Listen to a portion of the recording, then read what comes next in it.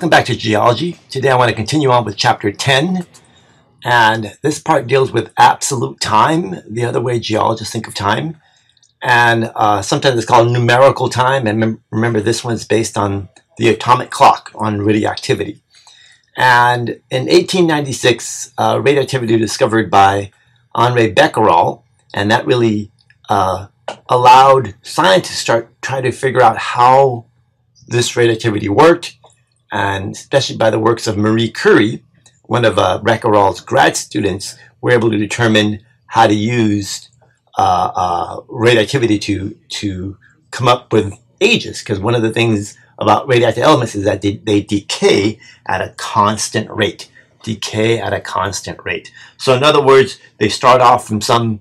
Usually we talk about some parent atom decaying to a daughter atom. So it's always parent to daughter. We measure the parent and the daughter atoms in the rock or the mineral. Now, a radioactive atom, the parent atom, uh, is unstable, it decays at a constant rate, always involved, and so this, this decay always involves, always involves a change in the atomic number, right? Uh, uh, for example, carbon 14 has atomic number 6, and it, will decay to nitrogen 14. Nitrogen uh, 14, which has atomic mass or, or, atomic number of 7. Atomic number of 7. So there's a change in the number of protons. So the key thing about radioactivity is the protons, the number of protons change. In this case, they increase by 1. Um, this this type of decay is known as, as beta decay. I'll talk about those that type of decay in a moment, but that's beta decay. Now, a radiogenic atom, the daughter atom, is is said to be produced by this radioactive decay. So so in in we'll talk about in, in a closed system, right? At the beginning of when this atomic clock begins to to to tick, or we're going to start counting time, we're going to start off with 100% parent atoms. 100% parent atoms over time, we're going to grow those radiogenic atoms, right? So you need time for uh, uh, the growth of a daughter atom. So at the beginning, there's going to be no daughters. Eventually, these parent atoms are going to decay, and some of them will be converted to daughter atoms, right? And that'll uh, be after some time. Now, um, and that depends on the, the, the decay rate of the radioactive atom. And the way we're going to count them uh, we're going to use half-life, as you'll see in a moment. So the other big thing to talk about here are isotopes. Remember, uh, isotopes are atoms of the same element that vary in their atomic mass. So they're going to have different numbers of neutrons. For example, uh, by convention, remember the, the isotope uh, or the mass number is always in the superscript, whereas the atomic number is always in the subscript, right? So these three atoms are all carbon because they all have six protons in their nucleus, six protons in the nucleus. But see, they vary in their number of neutrons because remember, the, the atomic mass is the addition of protons plus neutrons, right? So these are the three uh, isotopes of carbon. Uh, this is the one that's radioactive right here. Uh, remember we talked about the carbon-13 ratios here for, for biomarkers. Uh, and then for uranium, you can see uranium has three isotopes as well. There's 234, 235, and 238. They're all uranium because each of these has 92 protons in the nucleus. They just vary in their number of neutrons. I mentioned beta decay, but there are, there are three fundamental types of decay. And the first one I want you to know about is called alpha decay. And so what happens, and the key thing with alpha de decay is that the nucleus of a parent atom loses two protons and two neutrons, right? So that's going to result in a change of, of negative four in atomic uh, mass. We're going to decrease the mass by four because we're changing four, we're losing four um, significant weights from the nucleus, two protons, two neutrons, right? Uh, so the, the mass number decreases by four, right? Mass number. Uh, however, because we only lose two neutrons, the, the atomic number decreases by two, right? So this type of decay is common in uranium. And for example, uranium-238 uh, undergoes an alpha decay. And so note that we see a, a four mass change here in the atomic number, but we see a two atomic number change here. So we go from, so the atomic number 90 is, uh, is the atom thorium, right? And you'll see uranium has a very long decay chain. It, it undergoes alpha decay, there's some beta decays, more alpha decays. Uh, we'll talk about that in a moment um, because one of the articles I want you to read about uh, is about coral dating. And they use uh, the, the 234 to thorium 230 decay. And we'll talk about that in a moment. But for now, uh, just understand that this alpha decay is, is basically a big, fact, they call it the alpha particle. It's a pretty big particle. Uh, um, two protons, two neutrons.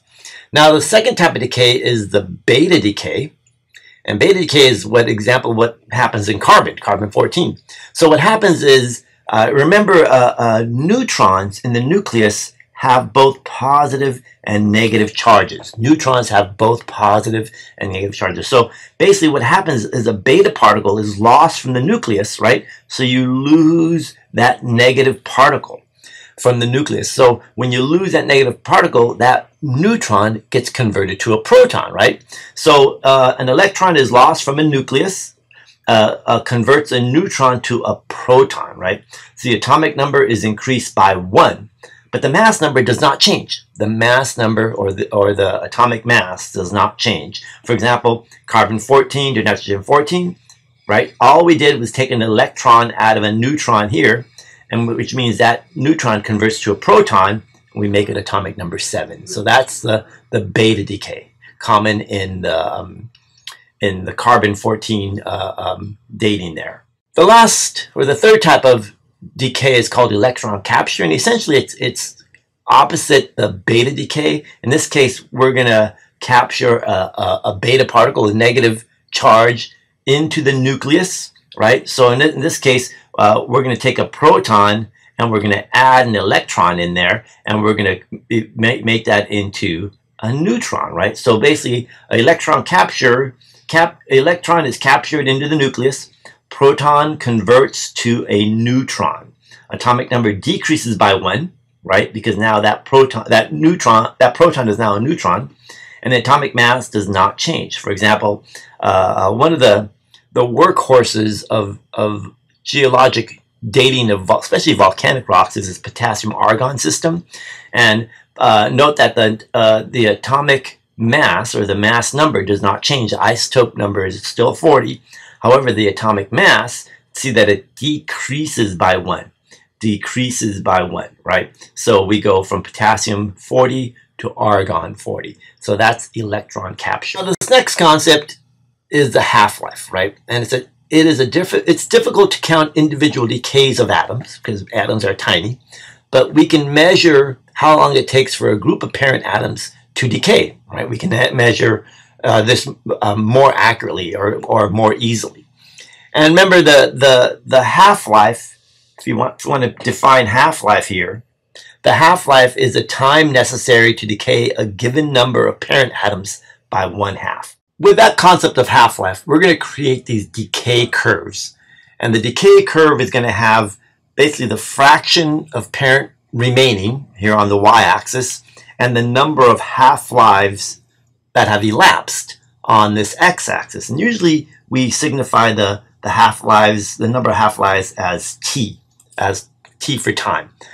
One, one half-life, two half-life, three half-lives, t. Uh, this would be the fraction of that parent atom remaining of the radioactive parent. So you can think of this as parent decay. And that's what I'm showing up here. So we have, uh, uh, let's say we have a thousand parent atoms. After one half-life, we're going to have 500. After two half-lives, 250. After three, 125, and so on. So that's what this curve is plotting there, right? So these would be, if I could put a T here, these would show the, the number of half-lives elapsed. At the beginning, when the thousand parents, we have zero half-lives elapsed, so we'll have zero daughter product.